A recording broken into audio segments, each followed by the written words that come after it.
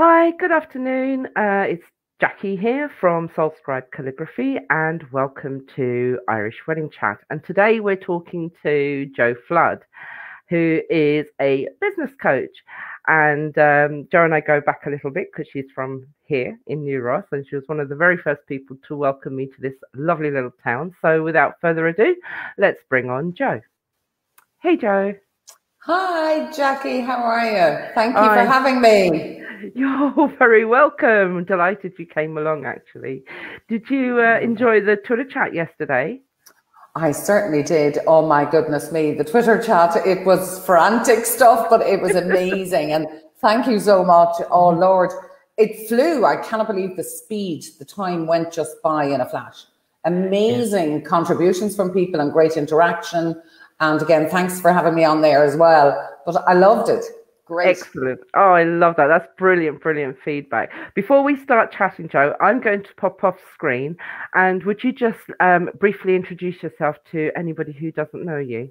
I will. Thank you. Uh, okay, Jackie. Lovely. Well, hi, everybody. Um, my name is Jo Flood, and I'm a business growth coach. Um, I live here in the New Ross area. Uh, my previous background, I owned my own business for, gosh, 17 years. Uh, it's now Creacon Wellness Retreat. So I'm very proud to have owned that in my past life. I have a lot of experience working with businesses. Um, I suppose one of the things that I have found over the years is that um, most people struggle with their time management, etc. So I've created um, a piece called How to Do More in Less Time and increase your productivity by 30% in 21 days. And um, if you want to work with me, go have a look at my website. It's called We Coach People, www.wecoachpeople.com. And yeah, sure, I'll be chatting to Jackie now and I'll tell you more. Excellent. That was a lovely introduction, Jo. Well done. Thank you. Thank you. well, you're you're really experienced in this stuff. I feel like a right amateur beside you. No, come on, you're brilliant at this, Jackie. Oh, thanks, Jo. Thanks, and, Yeah, multi-talented Jackie with her incredible business as well, the Soulscribe. My goodness me, oh, your work, your work is just. oh, don't no, no, no. Your work is absolutely like it's just flawless. It's incredible. Oh, thanks, Jo. Thanks. Oh my God, I'm You're getting welcome. all embarrassed here. oh, don't. And another string to your bow now, presenter on live Facebooks yeah. for Irish Wedding Chat. It's brilliant. Yeah. Well, we're, we're hoping that, you know, people are actually benefiting from our Twitter chats and then our interviews after. And your, work, your particular chat was fantastic because you had so many tips and tricks I found it really interactive yesterday. Thank thought you. it was fantastic, mm. you know, oh, and lots good. of people, mm. yeah, lots of people um, interacting. So I think you have a cup there with loads of little names in it, which we will do later. da-da, da-da. we, we, we will pick the name out of the cup. yes. Not the hat, the cup. yeah, the cup. Absolutely. The cup. the cup. Actually, I might just tell a little story now. The, the, the reason we have the cup is because I have moved into a new office here in New Ross and literally in the last couple of days. So you may notice it's a bit echoey. And the reason for that is there's me, a desk, and there's definitely no clutter. it's very funny. So hence the cup. There's not a hat. There's nothing. There's nothing. But anyhow, no, no. And it's great. Was, yeah, and that was one of the topics that we actually spoke about yeah, yesterday. Was yeah. like you know? Yeah, yeah. I just ran out of mine and got a new one. No, I'm joking. um, I came because the internet, which is so important for my business, because I work a lot online with people. And yeah. I literally had to up sticks and move since the pandemic hit us because I think obviously everyone's at home, people are working from home, yeah. um, people are their children are at home, and there's such a drain on the internet. The coverage where I live was very poor. So I yeah. just decided to make a decision to remedy the problem and I got an office in town for the moment. And possibly if that works out, I'll stay here. But I'm delighted with the internet, but we have to do something about the echoes we'll put up a we'll, we'll we'll make it a bit more cozy. I'll pop down and visit you after. Yeah, exactly. Yeah, we'll have a little planning sesh. Yeah. yeah. You're only like ten minutes down the road from me. It feels exactly. yeah, it'd be lovely. Get some yeah, input, yeah. and then we Yeah, perfect. Yeah, excellent. So um, let's just talk about decluttering for a second. I know we're having a little bit mm. about a, a, giggle over it. I, I, think it's really important to yeah. declutter. Well, for me anyway, because when I'm working on a project, you cannot see um, anything like you know it just gets messy. Mm. It's like when I cook, I'm like the Swedish cook, like you know, yeah, yeah. from the Muppets. So like mm. I have a tendency to declutter uh, or tidy up, as I call it. I wouldn't actually call it declutter, but tidy up yeah. after I do every project. But it is something. Um, I had a recollection yesterday. Uh, it is something that also helps to clear out the mind. Would I be right in saying that? Absolutely, yeah. 100% right. I mean, if, if you are working in a whole heap of clutter, your creativity, your productivity, everything suffers. First yeah. of all, you can't find anything. I know people whose desks are right up here piled up. And then every single thing, every task that they try and do, they have to try and find the documentation. They haven't a clue where anything is. And they waste half their day messing around trying to find stuff. And that's mm-hmm. usually you find that that type of person, the whole place is cluttered, their home is cluttered, everything is. So I start there actually when I work with people, particularly because I have found that, I suppose, in my experience so far, it really comes back down to those kind of nine steps that I have in my program those are the building blocks for you to get moving because if you can't see the wood from the trees, you don't know what you need. So that's the reason I suggest the clutter clearing is critical and then continue on with it as it's something you put in your diary. It's not something that you do every three months or every six months. It's every single week you go and you have a little piece of time in your diary to just flick through stuff. And it just is, it's really amazing the mm-hmm. impact on the business at the end of the day and on, on yourself as well. Yeah, totally. I'm just, yeah, yeah. I'm just. I, Ailish was on our chat yesterday with us, and she said, "I started this morning. Does anyone need any lampshades?" oh, that's brilliant. Oh, good girl. Down to the charity shop there, Ailish. it honestly, it makes such a difference. I actually myself very recently, uh, last week, I got into the bedroom, my bedroom with clothes and stuff, and I just got rid of a whole ton of things myself. Yeah. And I would do that every couple of months with clothes and stuff like that. Yeah. And your bathroom, you know how you gather up loads of bits and pieces in yeah. little sample things and stuff like that. And the next thing you know, they're all just put into a little dish somewhere and they're not used. So even sometimes I think being conscious about taking stuff to bring home that you know you're not going to use. Yeah. There's a, it, so, so that's another part of the whole clutter thing it's about yeah. a mindset. I don't really need, you know, we all take things that we don't need. Yeah. Or I don't know if you're ever at a festival and you're given a bag and there's a whole load of rubbish in that you don't really oh, want. So yeah. just refuse it, say no, thank you. Yeah, I was just saying when I when I moved in when I moved in here and I was going through my studio, I thought my studio was like I had no mess in it. But when I started going through stuff, there was, yeah. as you say, bags from various networking yeah. events yeah. and you know, and, and, and unopened. They hadn't been opened, like, you know. Yeah. and I was going through them going, oh. but yeah, but you know. It's just a habit again. I know we we talked about habits as well, but that's just a habit. We, I don't know, people love to get stuff for nothing or free, or there's some sort of mentality. I have to have it because it's free. But yeah. even at the net, when we go to a networking event, I think that there's a huge amount of information we come back with. And I know I used to do this, Mm-hmm. You just put it to the side on the desk and you don't actually utilize the information you have, contacts that you ought to be connecting with. There's a whole ton of stuff there. You know, if there's pens in it, take the pen, put it with your pens. Whatever you don't need, you get rid of then. You don't just yeah. leave it over here and do it in two months. So yeah. little things like that all become, yeah, you know, big things really at the end. Mm. Yeah, uh, that's another thing. I went through um, some business cards, and some of these business cards I've had for decades like you know yeah. and i think even like decluttering through that it's a you know even going through your business cards and your contacts you know mm. helps a lot as well well actually jackie a very interesting story about going through your contacts and business cards and things um i did that myself there a couple of weeks ago and i found a business card and i was thinking gosh i wonder whose this that was i couldn't remember for a moment and yeah. then i remembered it, i bought a beautiful brooch from this woman at a fair in uh, Duncormick, you know, the uh, Bannow Rathangan show. Okay. And I thought I had meant to contact her and I didn't. But anyway, I decided there and then I'm going to send her an email, but I didn't. I go and have a look at the Facebook page, and she was just after closing her business a couple of days before. Wow. So I, I connected with her, and she instantly replied. And I said, I'd really love to meet up for a coffee and a chat with her. Oh, she said that would be just so lovely. Yeah. So that's yeah. something I have in the pipeline to talk to her because I have a feeling that she's closing the business, but she doesn't really want to close the business. There's something has yeah. come up and she may need some help with trying to wade her way through all of the issues as to why, because her products and her business is amazing.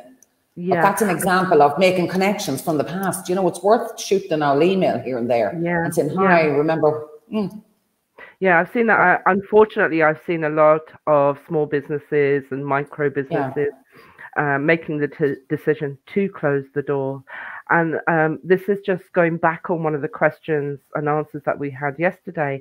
Um, mm. I'm I'm kind of curious to know whether this has more to do with self-limiting beliefs than it has to do with the pandemic we and, and the lockdown we've had to endure over the past few months.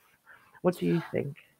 I think that there's probably both involved, but there would certainly be businesses who are struggling to such an extent that perhaps were on the verge of closing before this, and this yeah. is the file and nail in the coffin. And yeah. I think it's really important to make decisions based on facts and exactly where you're at, to be able to sit down and be very clear and be honest and truthful with yourself.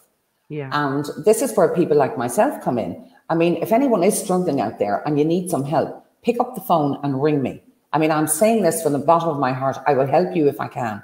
I will be the ear for an hour if you want me to. And that's not trying to give you, you know, a business thing or any of that. Just pick up the phone. I would do that for anybody. And I do help people who need help. But I think it's, you know, there's certainly, it's double edged, Jackie, really. It depends yeah. on um, what the business is. It's a, that's a big, a big question, but definitely some of them are very much related to pandemic. I mean, in the catering, Jesus, I was in catering myself, you know, hospitality for 17 years. And yeah, yeah. my heart goes out to the pubs that can't open, but yet. I can understand the issues related to them. Um, the restaurants, which capacity is reduced by half in some cases or more. Uh, there's pluses in some cases because some restaurants were able to fill the tables twice in the one night. The turnover time was much quicker, and you know, so there's it, it's advantageous for a couple of businesses I know. But for others, it's not because the physical building didn't, um, you know, meet the requirements. It was just impossible. So there's a lot of factors as to why somebody's business, you know, can or cannot survive at the moment. Right, right, yeah, there is, there is. It's just that my heart goes out to them. Like I'm fairly lucky in, in mm. what I'm doing, um, so you know, um, but I'm also in the position where um, if I don't get some income soon, I'm going to have to do something. Do you know that way? Yeah, uh, yeah. And that's sort of still sort of because it because it came up yesterday, and it's because and it's also come up a few times for me personally. The self-limiting beliefs, you know, whether this mm. stops you from moving forward. You know, say for I'm talking about myself, and but I'm mm. also relating this to other uh, micro and small businesses. You know, where we're producing mm. stuff by hand. So everything that we produce is a one off, you know. How do we sort of um, grow when we only have a certain amount of productivity that we can actually do? You know, is this part of this? Uh, eh, you know, is this something that maybe you could help me with or somebody like me? Totally. I think one of the things I just completed last year, I did um, a postgrad in innovation and enterprise. And some of the techniques that we found uh, through design thinking, for example, which is a way of sitting down and really looking at where you're at and wa- walking yourself through the path of your operation and finding new ways of doing things and new ideas. And it's literally starting with nothing. So that is definitely something that I'm really excited to be able to help people with which is, yeah. and it's, I think your guest last week, Finola, who I know very well, and I'm actually on one of her programs, uh, the Get Strategic program. Um, it's, it's, you know, it's, it's all out there. It's about pivoting. She talked about pivoting your business. And this is yeah. exactly the time to be looking at that.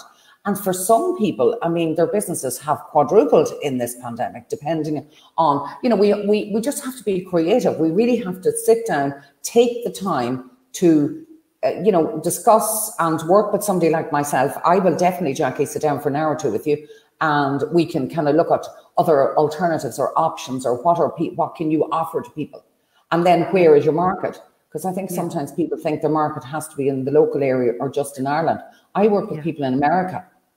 Right. I actually have probably more clients in the States than I have here.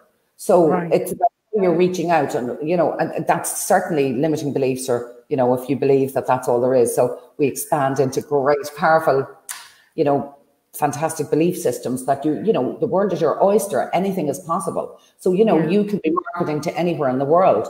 There's yeah. birthdays, you know, you can create amazing birthday gifts for people, I'm sure.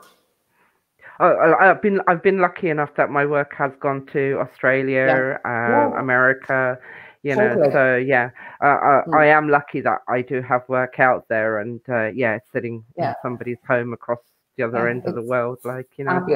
Yeah. Yeah. Yeah. Yeah. Mm. I had a question in my head. Now it's just gone completely. so I tell you what, um, Jo. Jackie, just one, one other thing. I know somebody yeah. mentioned last night something about unproductive habits. That sometimes that if you tackle them too much, that it can be stressful. I think there was a comment yeah. like that somewhere. Yeah. And I'd just like to clarify, I suppose, a little bit about unproductive habits that we'll say, for example, uh, things that I, I have probably, there's not one thing on that list of nine things, steps, how to get more done in less time that I haven't struggled with myself. And the reason okay. they're on that list is because I found when I figured out how to step around those, I increased my product, productivity by a huge amount. And the unproductive habits can be little things like um, and then this takes a chunk out of your time. So you go for your cup of coffee, so you take a break. And I know, I think it was Ailish or somebody said something about when they were working, they went to do the laundry, and then I'm doing this. Ailish, yeah, yeah. Ailish.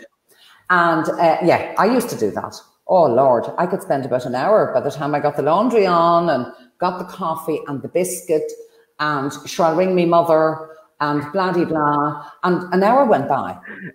So I know, guys, I know there isn't one thing that I have not tried to avoid doing work. And so, you know, loads of them. You know, I had to go out and stroke, stroke the cat, feed the cat, hang out the washing. Oh, I heard the machine beeping. Oh, that yeah. must be the dishwasher.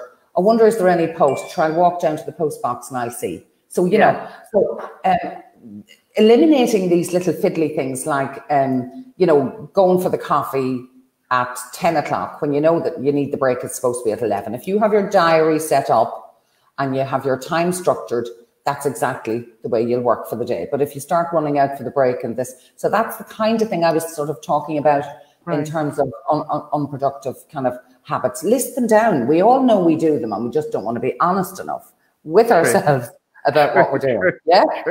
Hands up there. Yeah, absolutely yeah. true. Or the, the, the other big one is the saying yes to no. That's the crack. Again, I really loved if somebody rang me and said, What about having a coffee? I mean, it would be on the day and I'm busy, but I still yeah. went ahead. I thought, oh, feck it. Sure, I'll just go. go. Yeah. I'll only be an hour. Sure, it'll do me good. I need a break. I convinced myself yeah. I was after working so hard. So it's all about I think it's uh, it's all of that stuff, really. Yeah, mm. yeah, yeah, absolutely. Ailish has left a comment there saying, "I am the queen of procrastination." yeah, I know. It, takes, it just takes it, it, You know, there's there's there's actually. Um, I brought this book in because I absolutely love this guy, and I said I'll share one of my secrets uh, okay. This is the guy I sleep with at night in odd time. Can you see him? Jack Canfield. oh, Jack Canfield, yeah. I love Jack. yeah, he's um, great. he he's the chicken soup from the soul guy, but also he um, he talks about the success principles here. And the very first thing he talks about is taking 100% responsibility. And when you say that to people, they think, oh, they almost feel it's sort of an affront to dare say to somebody how, you know, you need to take 100% responsibility. But I think yeah. it's a great. it's like if you're getting married, you know, you don't sort of give a, a, a about 85% responsibility for this. You know, it no. might work out. No, we give it 100%. So yeah. I think taking 100% responsibility means really being honest about where you're at right now in your life. And even if that involves let's say I had a situation myself where we had a bereavement that was uh, very personal to and impactful on all of us.